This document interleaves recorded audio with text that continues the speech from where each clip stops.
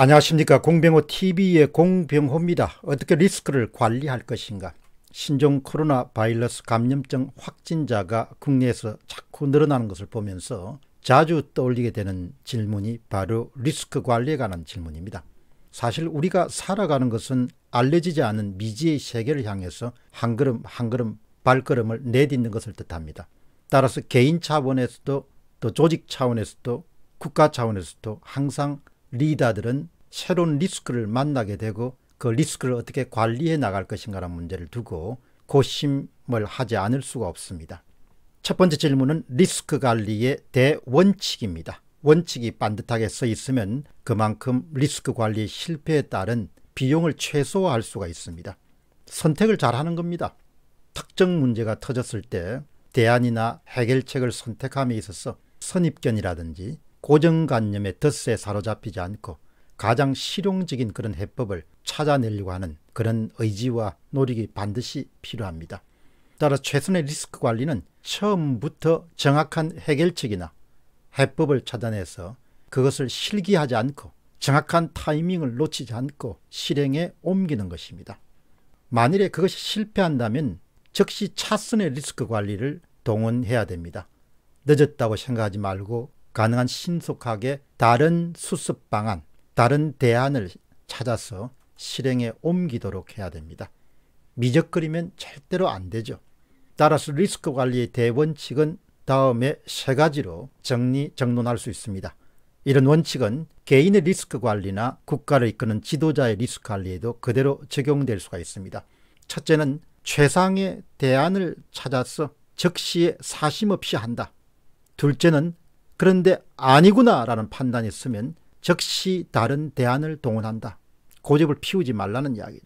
세 번째, 리스크 관리의 큰 적은 바로 경직성과 고집, 고집 불통이다는 것이죠.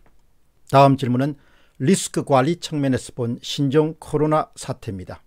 신종 코로나 바이러스의 감염증 확진자가 전국에서 속출하고 있습니다. 이제 드디어 2600만 명으로 이루어진 거대한 수도권에 비상이 걸렸습니다.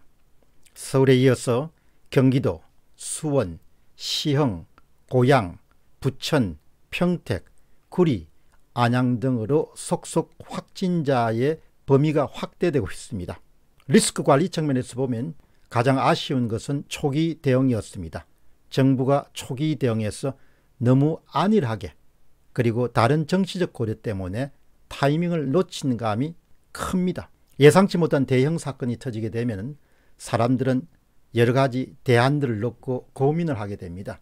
이때 우선순위가 어디에 주어지는가에 따라서 대안의 선택 가능성이 상당히 달라집니다.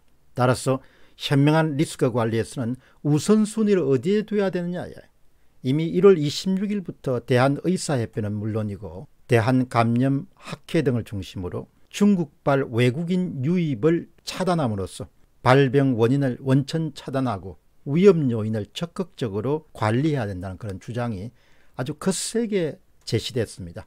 특히 대한의사협회는 사태의 초창기부터 입국 금지를 적극적으로 촉구하였고 또 일반 국민들 가운데 일부 깨어있는 사람들은 청와대 청원을 통해 가지고 수십만 명 이상이 정부의 중국발 외국인 유입을 차단하는 그런 청원을 낸 바가 있습니다.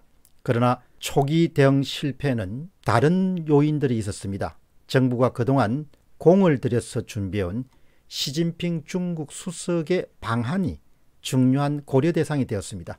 결국은 의사결정을 내리는 사람 입장에서는 의도하건 의도하지 않건 간에 국민의 생명보다도 시진핑 방안이란 외교 사안이 우선되면서 결국 입국 금지 방안을 실행에 옮기지 못했습니다.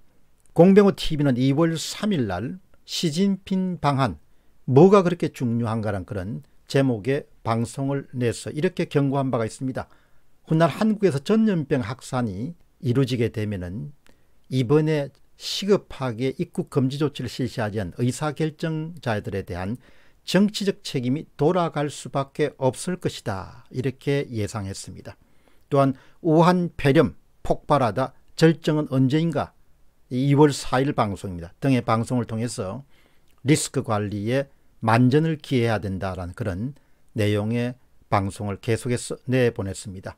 리스크 관리란 측면에서 보면 이제 필요한 것은 초등 대응이 완전히 실패했다는 사실을 정부가 솔직하게 인정하는 것입니다.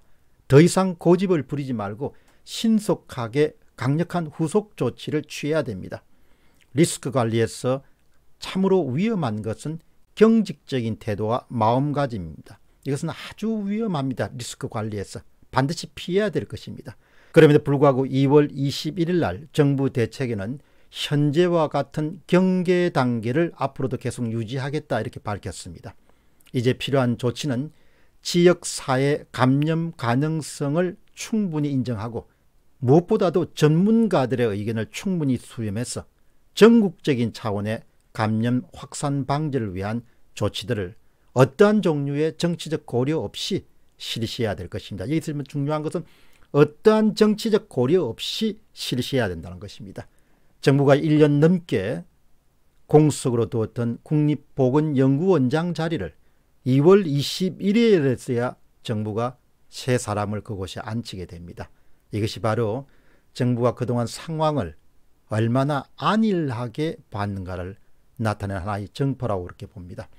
초기 대응은 실패했지만 정부가 전문가들의 의견에 충분히 수렴해서 늦은 감이 없지 않지만 그럼에도 불구하고 지역 감염이 확산되는 것을 막을 수 있도록 신속히 움직여야 될 것입니다. 공병호 TV의 공병호였습니다.